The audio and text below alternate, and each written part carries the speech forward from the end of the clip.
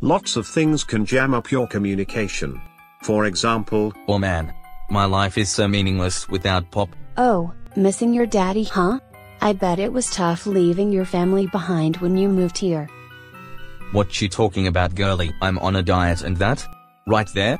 Is what I've been missing. Ha, I guess that a soda by any other name really is, just as sweet. To some people, anyway. and lest we forget, language. أهلا وسهلا يا ابني Sorry doll, I only speak English. يا ولد نسيتني